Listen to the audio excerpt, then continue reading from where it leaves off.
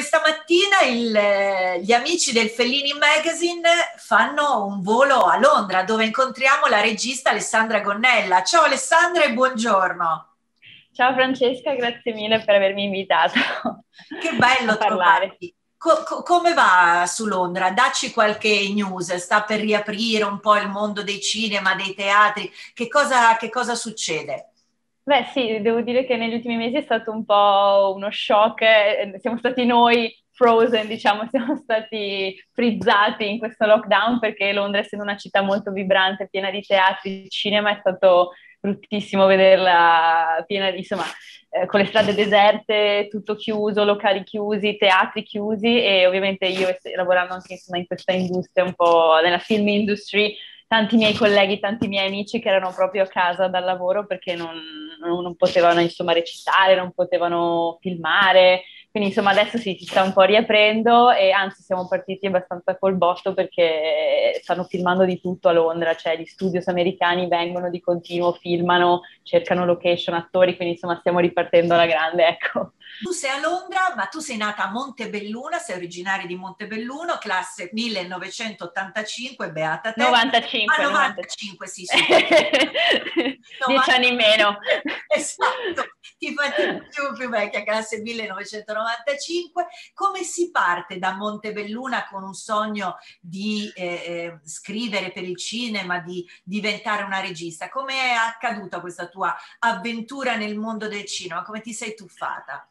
Eh, in modo strano perché, cioè, nel senso abbastanza anche improvviso perché non ho, non, non, non ho, coltivato in famiglia questo amore per la creatività, per il cinema, perché i miei genitori fanno tutt'altro, insomma fanno dei lavori normali, si si suol, come si suol dire, quindi sinceramente sono, sempre, sono stata io forse la prima della famiglia a essere attratta veramente al, al, alla scrittura.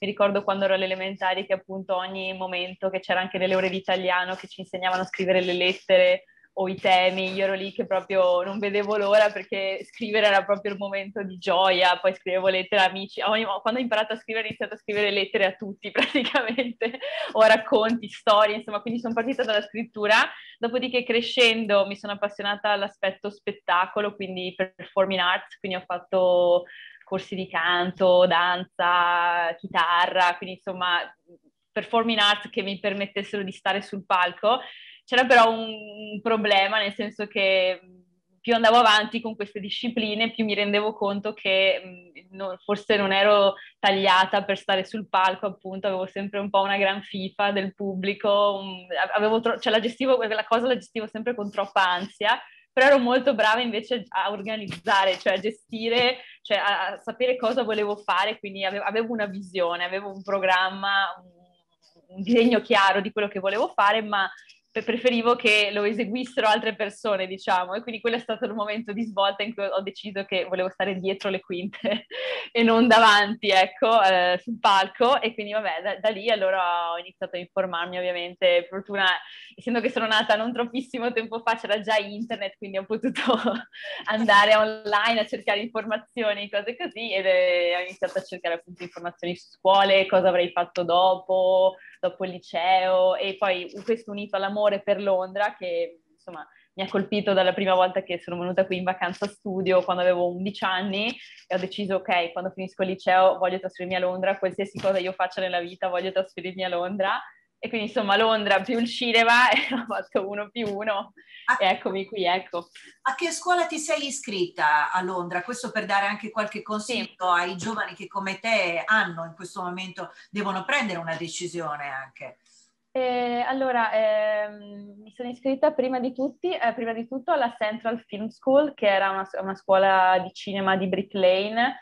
Eh, diciamo che questa è la differenza netta tra eh, nelle, nelle, scuole anglosassoni, io parlo dell'Inghilterra, non so in America come funzioni, però insomma in Inghilterra eh, secondo me la differenza netta è tra le università, quindi dove comunque c'è uno studio più teorico e, e, ovviamente le film school, che sono scuole di cinema che potrebbero essere nel nostro paese, penso, equivalenti del centro sperimentale o comunque scuole molto pratiche dove eh, impari facendo film, ecco, e dove incontri persone del mestiere, quindi meno teoria, meno storia di cinema, meno guardare film e più invece scrivere, eh, fare set design, costumi, luci, cose, insomma montaggio, quindi eh, discipline strettamente tecniche e pratiche. E quindi questa è la grande differenza, quindi sono andata subito in una film school, la Central Film School, dopodiché però ho cambiato eh, per motivi personali ho cambiato, sono andata alla Met Film School, che è invece un'altra scuola che è basata agli Ealing Studios, quindi dove facevano le commedie britanniche, insomma, nei tempi d'oro. Quindi, insomma, eh, anche il fatto che questa scuola fosse dentro, uno, dentro degli studios, dentro degli studi di posa, ovviamente era un grande vantaggio perché potevamo usare questi studi di posa per fare i nostri film, le nostre prop, i costumi, incontravamo persone, Gary Oldman che veniva a girare lì i film, cioè nel senso è proprio tutto un altro ambiente, no? È tutta gente di cinema che va e viene quando tu vai a scuola la mattina, no? Quindi un'altra cosa, un altro ambiente. Dopodiché, dopo aver fatto la, la, la, questa è stata la laurea in practical filmmaking, ho fatto la specializzazione, la specialistica alla National Film and Television School, che è un'altra scuola, e questa è veramente la scuola nazionale di cinema, quindi sarebbe veramente l'equivalente del centro sperimentale. Questo è stato la mia, il mio percorso scolastico. Scusate se è stato lungo, ma no, no, questo è. E questo è molto importante anche perché oggi, appunto, come dicevi tu, sul web i tuoi giovani aspiranti colleghi per diventare registi sì. o fare un percorso possono cercare informazioni e sappiamo dell'eccellenza delle scuole che tu hai praticate. Grande, ehm, grande eccellenza che ti hanno portato poi a dei risultati fantastici, perché io ricordo a tutti gli amici che ci stanno seguendo di andare a cercare un, un tuo cortometraggio che ha ricevuto il nastro d'argento come, come miglior cortometraggio nell'edizione passata che si chiama A Cup of Coffee with Marilyn, tutto girato a Londra, sei giorni, cinque giorni interamente girati a Londra. E, e come è nato questo, questo, tuo progetto, questo tuo team anche straordinario di eh, col- collaboratori che hai avuto? Sì, è, ehm, è, è, un'idea che ho iniziato a coltivare durante appunto il mio percorso di studi, quindi mentre facevo i, i, miei compiti, diciamo, scolastici, i miei progetti scolastici, magari diretti anche da altre persone, ero lì che ovviamente nel mio free time invece pensavo ai, ai miei progetti, ovviamente ai miei progetti personali e ho iniziato quindi due anni prima del 2019, quindi parliamo 2017 più o meno, avevo iniziato a pensare a quest'idea del corto su Oriana Fallaci, che ovviamente io ammiravo, insomma, sin da quando ero al liceo, ho sempre pensato voglio fare qualcosa su di lei, un omaggio, e ho ripensato a questo aneddoto, questa storia, breve storia che era contenuta nel suo primissimo libro I sette peccati di Hollywood e ho detto ok, questa è una storia che ci sta bene comunque per un cortometraggio perché poi nessuno, nessuno conosce questo aspetto della vita di Oriana, molto, gli anni proprio giovanili, è molto comica, molto divertente, cioè si presta benissimo per una storia breve, quindi ho detto ok, faccio questa. E, e, da lì la prima cosa che ho fatto, ovviamente sapendo che si trattasse di un libro e di una persona anche molto famosa, quindi non è che potevo proprio farlo passare inosservato, ho chiesto ovviamente subito i diritti, insomma, per la questione dei diritti, quindi mi sono mossa in quel senso, ho, chiamato, ho chiesto aiuto alla Rizzoli, eh, poi invece ho trovato il nipote di Oriana, che lui è diciamo, l'unico erede di, di Oriana, insomma, che gestisce tutto, tutta questa eredità grandissima di sua zia. E lui fin da subito diciamo, si è affidato e mi ha detto ok vai, fai... mi sono presentata come una grandissima fan della, della fan numero uno diciamo di sua zia. E quindi lui mi ha, mi ha, creduto e mi ha detto ok va bene vai tranquilla insomma ti do, mio, ti do la mia benedizione vai e fai quello che devi fare Ovviamente lì per lì, siccome ero, mi sono presentata anche come una studentessa di cinema, era, sembrava che fosse una cosa da nulla, insomma, sembrava che fosse un cortometraggio così amatoriale, diciamo, si può dire. E quindi insomma nessuno si aspettava nulla, nemmeno io in realtà. Ho detto vabbè, io ho questa idea, voglio adesso vedo come farla, come metterla in piedi. Poi andando avanti ho maturato questa idea di voler fare comunque una cosa che, che la gente vedesse assolutamente. Quindi volevo che a interpretare Oriana fosse un volto noto. Questa è stata un'altra grande decisione importante che ho preso. Ho pensato non, non, non posso appunto fare passare inosservato questo progetto perché sennò è tutto un dispendio di energie e di tempo per nulla perché poi nessuno lo vede, nessuno sa quello che ho fatto e quindi rimango dove sono, quindi devo step up, no? devo fare qualcosa che mi faccia notare.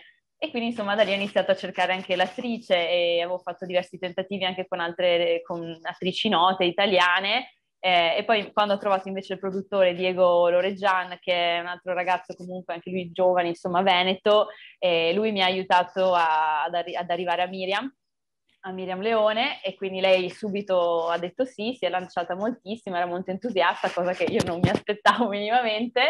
Eh, e quindi da lì poi abbiamo aggiunto, poi siamo arrivati a Francesca, sempre grazie a Diego, insomma siamo riusciti a parlare con, con Francesca, anche lei era molto entusiasta di voler fare una colonna sonora che non aveva mai fatto prima interamente lei. Francesca Michelin, lo diciamo. Francesca Michelin, sì, scusate.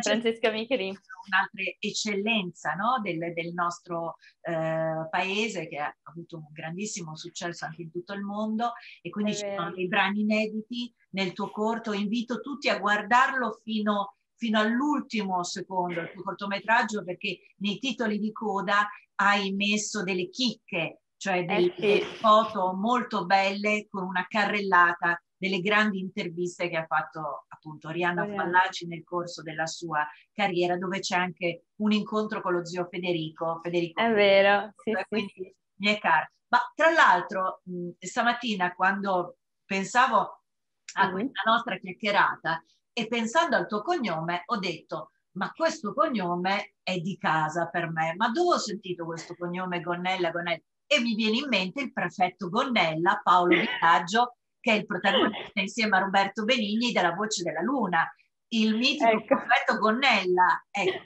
ma, ma tu ci avevi mai pensato che era il nome? No, ass- assolutamente no. Questo, no, no, no. Il nome, il nome nel film dello zio Federico, ma l'hai visto tu La Voce della Luna? Ma in realtà no, scusa, scusami, devo fare questo, questa missione di colpa.